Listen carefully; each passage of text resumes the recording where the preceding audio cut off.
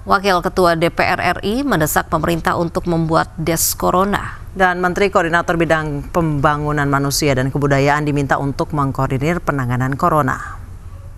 Uh, melihat situasi di luar yang semakin maraknya corona, mungkin ada bagusnya Menteri PMK ini mengambil alih, kemudian uh, lintas kementerian untuk uh, mengorganisir, membentuk uh, krisis center untuk corona. Nah, memang hal ini bukan untuk membuat masyarakat panik, bukan membuat uh, ingin membuat investor jauh atau kemudian ekonomi menurun, tapi ini lebih daripada justru untuk meyakinkan masyarakat bahwa pemerintah ini juga mempunyai uh, langkah untuk uh, mencegah uh, tersebarnya corona dan meyakinkan juga kepada investor luar negeri dan juga pelaku ekonomi bahwa pemerintah tidak tinggal diam saja untuk melindungi negara dan